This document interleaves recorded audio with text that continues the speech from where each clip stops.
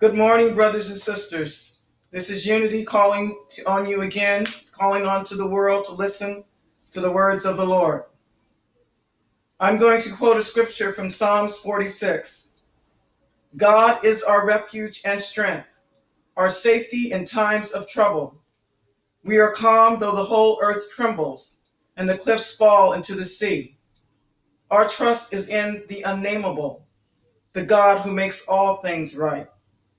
Come, see what God has created, the miracles God does for humankind. God puts an end to our wars and snaps our weapons like twigs. God offers us God's abundance and God's peace to the ends of the earth.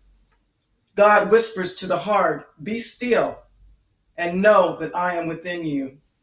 Our trust is in the unnameable, the God who makes all things right. God wants you to know, brothers and sisters, with regards to reparations, they will come when the Lord comes back to this earth.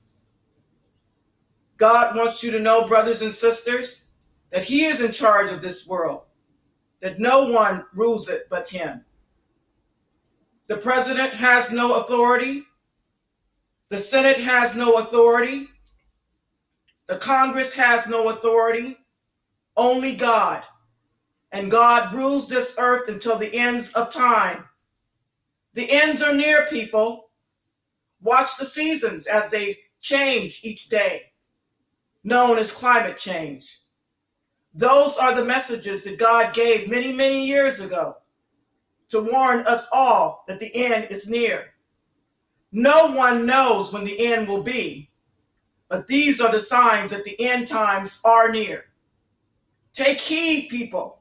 Take heed, brothers and sisters of the world, for God rules the world. He is the omnipotent. There is no other but Him. He is the power of the Holy Spirit that lives and drives in all of those that believe that He exists.